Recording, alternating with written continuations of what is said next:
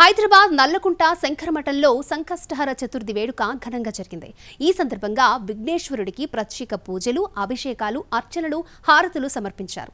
ఈ కార్యక్రమంలో భక్తులు పాల్గొని స్వామివారిని దర్శించుకున్నారు. వికటోత్కట సుందర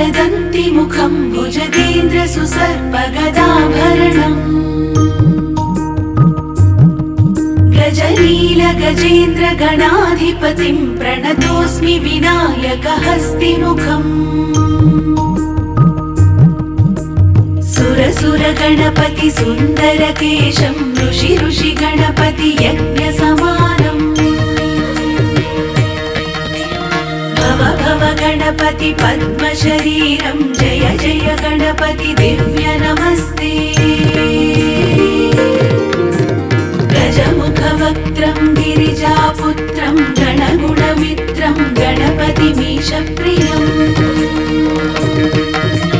करधृतपरशुं कङ्कणपाणिं कवलितपद्मरुचिम्। सुरपतिवन्द्यं सुन्दरवक्त्रं सुरचितमणिमकुटम्। प्रणमतदेहं प्रकटितकालं षड्गिरिताळमिदं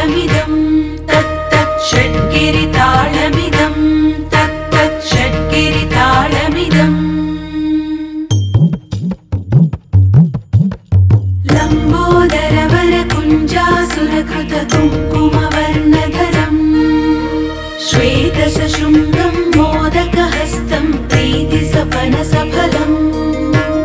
नयनत्रयवरनागविभूषितनानागणपतिदम्। तत्तत् नयनत्रयवरनागविभूषितनानागणपतिदम्। तत्तन्नानागणपतिदम्